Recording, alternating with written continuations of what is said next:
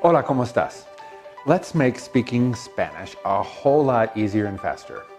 Even if you don't have a lot of spare time, you can start speaking Spanish right away with these common phrases.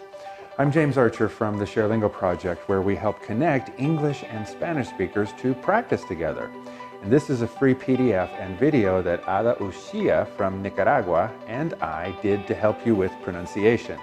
It will help you feel more comfortable right away, but more importantly, it will help you start conversations and make new friends. Just click the link to download the free PDF and video.